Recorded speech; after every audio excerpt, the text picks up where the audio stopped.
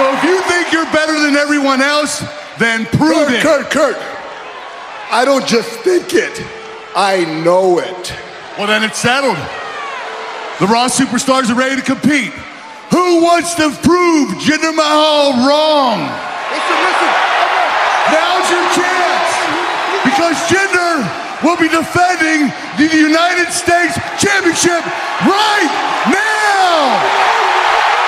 I like it. This is completely unfair. We're talking about the modern day Maharaja. Yeah, he came out and he said, hey, I'm better than everybody else Live. I'm better than everybody on Raw.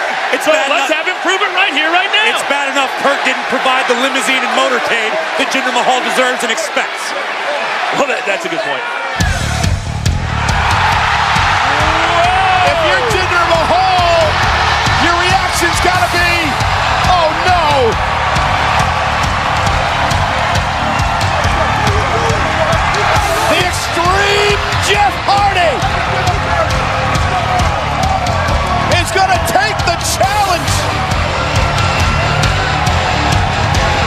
Does not bode well for Jinder Mahal.